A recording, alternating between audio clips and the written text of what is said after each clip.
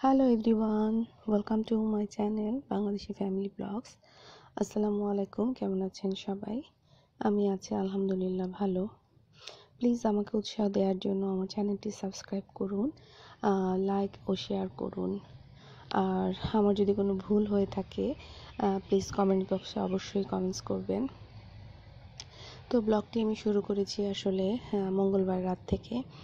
তো এটা ছিল আমার ডিনার ডিনারের ভিডিও আসলে। খুব হালকা খাবার রাতে খেয়েছিলাম। যে ভর্তাটা ছিল, কালিজিরা ভর্তা, এটা বাংলাদেশ থেকে নিয়ে এসেছি। আমার খালা এটা করে দিয়েছিলেন। তো একটু একটু একটু একটু করে আমি ফ্রিজ থেকে বের করি আর খাই। আমার কালিজিরা খুব ভালো লাগে কালিজিরার ফ্লেভারটা এই তো। আর এটা হচ্ছে বুধবারের সকাল একদম সকাল ছয়টা।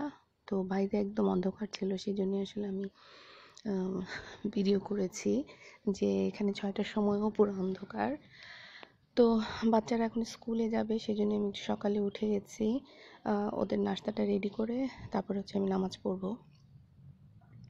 তো ওদের জন্য আমি আসলে করেছি আজকে ফ্রেঞ্চ টোস্ট ডিমটাকে ডিম আর একটু সুগার আর একটু হালকা সল্ট দিয়ে ব্রেডটাকে ভেজেছি আর ডিম পোচ করে দিয়েছি ওদের জন্য। আর সকালে আমি একটা ফ্রুটস দেওয়ার চেষ্টা করি সবসময়ই। কারণ দেখা যায় যে সকালে ফ্রুটস না দিলে পরে হয়তো সারাদিনেও আমি ফ্রুটস দিতে মনে থাকে না। তো সকালে ওরা স্কুলে যাওয়ার আগে অল্প হলেও ফ্রুটস খেয়ে যায়। তারপরে ওদের পানির বোতলগুলো সব যেটা করি আমি, বোতল ওয়াশার আছে ওইটা দিয়ে ধুয়ে নিই, ধুয়ে তারপরে হচ্ছে পানি দিই। আর আমাদের এখানে কেউ পানি সেদ্ধ করে না কারণ ডিরেক্টলি কল থেকে খাওয়া যায়। কিন্তু আমি জানি না কেন, আমি প্রথম থেকেই ওদের ডিরেক্ট কলের পানিটা আমি খেতে পারি না, কারণ একটা ব্লিচিং পাউডারের গন্ধ সরি হ্যাঁ ব্লিচিং পাউডার এবং ক্লোরিনের গন্ধ করে। তো সেই জন্য আমি যেটা করি, আমি করেছি, সেটা হচ্ছে আমি একটা আসলে ফিল্টার জগ কিনে নিয়েছি। তো ফিল্টারে পানিটা দিলে পানিটা তার গন্ধ থাকে না, খেতেও অনেক টেস্টি তো আমার বাচ্চারাও কল থেকে পানি খাওয়ার অভ্যাস একদমই নেই। যাই হোক ওদের নাস্তা শেষ করে আমি ছোট ছেলেকে ওর ফ্রেন্ডরা দাঁড়িয়ে থাকবে একটা জায়গায়, তো ওকে আমি দিতে যাচ্ছি। তো সেই জন্য চার পাঁচটা ভিডিও করলাম যে কোথাও কেউ নেই, এটা একটা পার্ক পার্কের চারপাশে অনেকগুলো বিল্ডিং আছে। এই ছটার সময় যা আসলে যাচ্ছে হচ্ছে স্কুলের বাচ্চারা আর হচ্ছে যারা জব জব করেন তারা আর হচ্ছে কিছু বয়স্ক মানে বৃদ্ধ মহিলারা। তারা যেটা করেন, এক ধরনের ব্যায়াম আছেন, তারা এখানে সেই ব্যায়ামটা করেন সকালে উঠে। কোনো দিনও তারা মিস করেন না, আমাদের মতো লেজি না।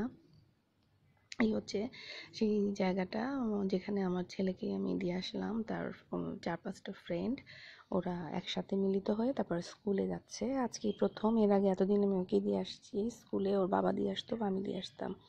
তো ওই যে দেখলেন বৃদ্ধ মহিলাগুলো, ওরা আসলে ওই ব্যায়ামটা করে সকালবেলা উঠে। তো যাই হোক বাচ্চাদের আসলে আমরা বাচ্চারা কার সাথে মিশে সেই জিনিসটা আসলে আমাদের খেয়াল রাখা উচিত। কারণ সঙ্গ যে কি একটা বড় ইম্পর্টেন্ট রোল একটা মানুষের জীবনে সেইটা আসলে সেটা আসলে আমাদেরকে বুঝতে হবে যে একটা ফ্রেন্ড একটা মানুষের জীবনে কতটুকু ভূমিকা পালন করে। তো সেই জন্য আসলে আমি প্রায়ই দেখা যায় আমার ছেলের কার সাথে মিশছে, কার সাথে কী করছে, আমি জিনিসটা খেয়াল রাখি। আর আমার যারা সিনিয়র ভাবি আছেন, ওনারা সবসময় বলেছে যে তোমার ছেলে, মেয়ে কার সাথে মিশে, ওদেরকে মানা করবে না যে তুমি ওর সাথে মিশবে না, তার সাথে মিশবে না। এতে করে দেখা যাবে যে ওরা বিগড়ে যেতে পারে। তার থেকে বরং তুমি ওরা কার সাথে মিশে সেটা জানার জন্য তুমি তাদেরকে বাসায় ইনভাইট করো। ছোটোবেলায় ঠিক আছে, কিন্তু যখন বড় হয়ে যায় তখন তো একটু বেশি ওদের প্রতি খুব বেশি ওদের প্রতি কঠিন হওয়া যায় না। তো সেই জন্য আসলে আমি ওদেরকে আসতে বলি বাসায় ওর বার্থডেতে বা ইয়েতে।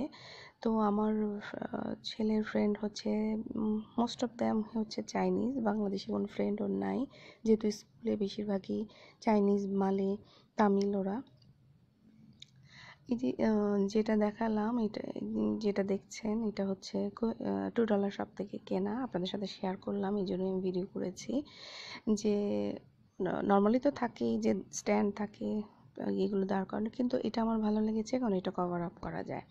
এতে করে যেটা হয়, আমি ধুয়ে রাখলাম কভার করে রাখলাম, পানিটা নিচের একটা ইয়ে দেওয়া আছে, সেখানে ঝরে যাবে। কিন্তু যেটা হচ্ছে, উপরে ময়লাটা পড়বে না সেই জন্য আমার এটা খুব ভালো লেগেছে। আর এই জন্যই আমার টু শপটা খুব পছন্দ। কারণ এখান থেকে কিছু ইউনিক জিনিস পাওয়া যায়, যেটা আসলেই অন্য কোথাও নাই। আর এই যে আমি ঠান্ডা পানিটা করে নিয়েছি। দশ মিনিট আগে আমি বলেছি ঠান্ডা পানি করি। সাথে আমি একটা লেবুর টুকরা দিয়ে দিই। আর এই যে পিঠা, পিঠাটা আমি ওভেনে গরম করে নিয়েছি। একদম ডিপে রেখে দিয়েছি। পিঠাগুলো খুবই ভালো থাকে ডিপে রেখে দিলে। তো আমি হচ্ছে বের করে জাস্ট ওভেনে দিয়েছি। এক মিনিটও না, এক মিনিটের কম হওয়ার আগেই আমি বন্ধ করে দিয়েছি। বেশি করলে এটা শক্ত হয়ে যায়। তো কতটা সফট কতটা সফট আমি তো খুলে দেখালাম, এতটাই সফট হয়েছে। তো আপনাকে আর ভাজা পড়ার ভাজার কোনো দরকার নাই। ভাপা পিঠাও আমি এইভাবে ওভেনে এক মিনিট দিলেই খুবই সফট হয়ে যায়। তারপরে হচ্ছে চিতই পিঠা যে কোনো ধরনের পিঠায় আপনি ওভেনে এক মিনিটের জন্য দিলেই গরম হয়ে যাবে। আপনাকে ওই ঝামেলা করে আবার পানি বসিয়ে ভাপ দিয়ে করার কোনো প্রয়োজন নেই। অথবা আপনি রাইস কুকারের উপরে যে স্টিমারটা থাকে